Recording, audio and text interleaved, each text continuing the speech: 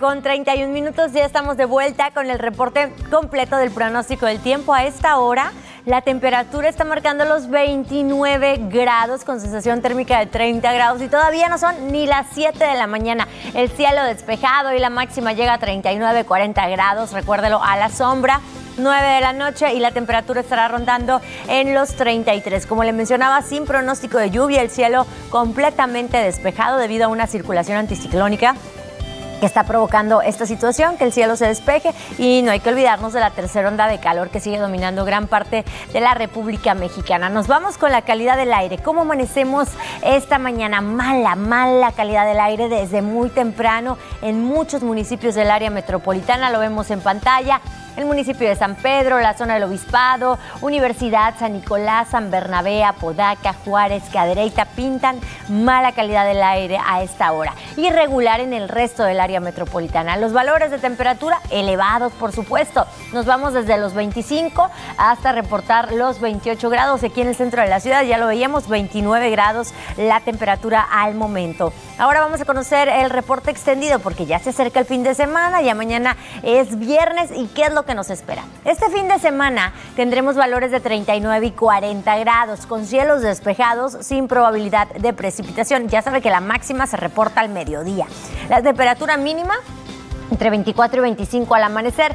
A partir del domingo sube más el termómetro sobrepasando los 40 grados, llegando a 41 domingo, lunes y martes. Cielos continúan despejados sin pronóstico de lluvia, ambiente seco, caluroso, 24 y 25 las temperaturas mínimas al amanecer. Y nos vamos con la imagen de satélite. Aquí estamos viendo mucha inestabilidad, muchos sistemas que provocan inestabilidad únicamente en el sureste mexicano, pero hay sistemas en el norte. Por ejemplo, la línea seca. Esta línea seca que se localiza al norte del país estará provocando rachas de vientos de 60 80 kilómetros por hora para el estado de Sonora, en Chihuahua, también en Coahuila se prevén estos vientos fuertes. Hay que recordar eh, tenemos la circulación anticiclónica en, en niveles medios de la atmósfera que provoca que condiciones de cielo completamente despejadas en el norte del país. Acá en el sureste tenemos un canal de baja presión, la onda tropical número 3 avanzando al sur de las costas de Chiapas y que ocasiona lluvias, lluvias importantes acompañadas de actividad eléctrica, principalmente en Oaxaca, en Chiapas, en Tabasco y también en Campeche, Yucatán y Quintana Roo.